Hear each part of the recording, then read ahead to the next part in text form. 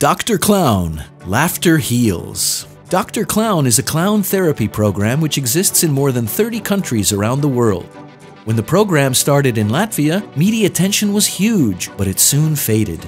The movement needed to attract this attention back again. The PR campaign had to explain what Dr. Clowns do for society and show that they are professionals who have a positive impact on children.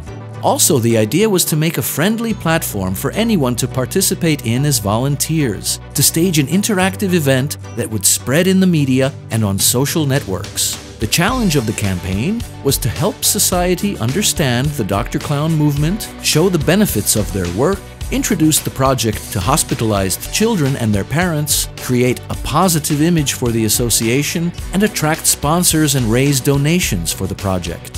The campaign target was to show Dr. Clown's work environment beyond the hospital, to build confidence that they will help bring children happiness during their stay in Latvian hospitals, to make it clear how important the project is to Latvia, and to tell the history of the Dr. Clown movement, which has been popular around the world for decades. Objectives to create awareness of the movement and raise donations via interactive communication use publications, interviews, and individual activities to encourage the public to think about Dr. Clowns and support the project. Channels of communication national, regional, internet, print, and social media in both Latvian and Russian languages.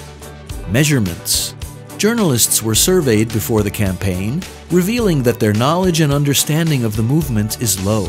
This lack of awareness had to be corrected by the end of the project. The strategy was to target publications and events to the most appropriate audiences. Publication activities began in April of 2014, but the campaign peaked in September with the Laughter Heals campaign.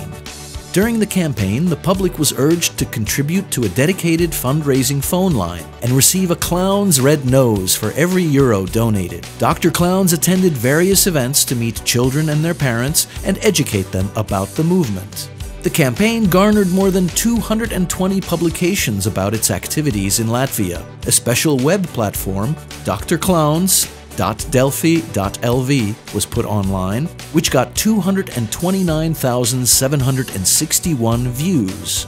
The Delphi news portal featured Dr. Clowns by adding digital red noses to all of their front page photos. 600 schools took part in the activities through the electronic school platform e-klase.lv, communicating the importance of social responsibility. Dr. Clown representatives took part in TV shows and were interviewed both on Latvian and Russian news and radio broadcasts. The result?